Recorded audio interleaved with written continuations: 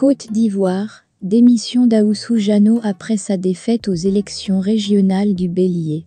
Pour plus d'informations sur ce sujet, retrouvez-nous après le générique.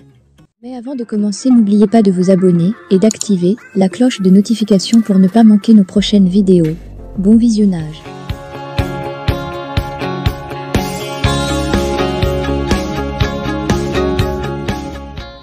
La scène politique ivoirienne est secouée par une décision inattendue prise par Aoussou Kouadio Jano, candidat malheureux aux élections régionales du 2 septembre 2023 dans la région du Bélier.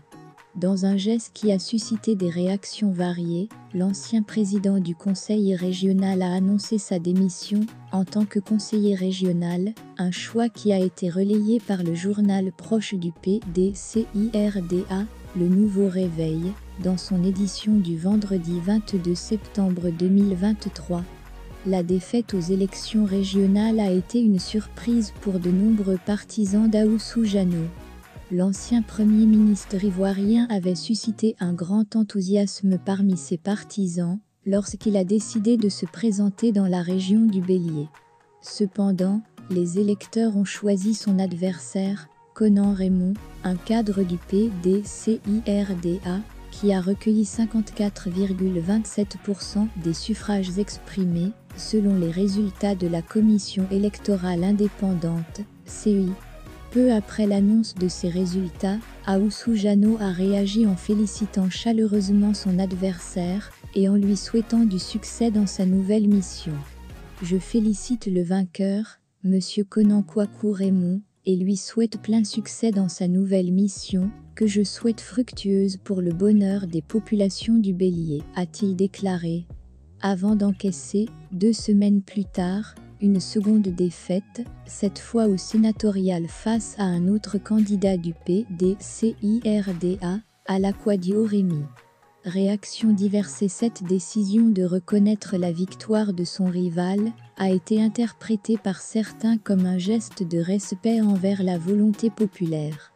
Elle a également été perçue comme un exemple de démocratie et d'intégrité politique, montrant qu'Aoussou Jano était prêt à accepter le verdict des urnes.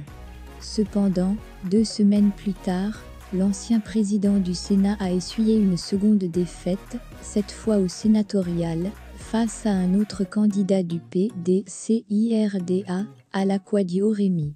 Cette série de revers électoraux a alimenté les spéculations sur les raisons de sa démission du Conseil régional du Bélier. Les avis sur cette décision sont partagés au sein de la communauté politique locale. Certains estiment qu'en démissionnant, Aoussou Jano a choisi de ne pas siéger au Conseil régional du Bélier pour respecter la volonté populaire et éviter tout conflit d'intérêts. D'autres considèrent cette démission comme un refus de contribuer au développement de la région, étant donné l'expérience et les compétences qu'il aurait pu apporter en tant que conseiller régional. Quelle que soit l'interprétation que l'on donne à cette décision, elle ne manquera pas de faire couler beaucoup d'encre dans les jours à venir. Les électeurs du Bélier se sont exprimés lors des élections et Aoussou Jano a choisi de prendre un chemin différent en démissionnant de ses fonctions de conseiller régional. Cette démission marque un tournant dans sa carrière politique et soulève des questions sur son avenir et son rôle dans la politique ivoirienne. Les prochains développements politiques dans la région du Bélier seront suivis de près par les observateurs politiques et les citoyens intéressés par l'avenir de la Côte d'Ivoire.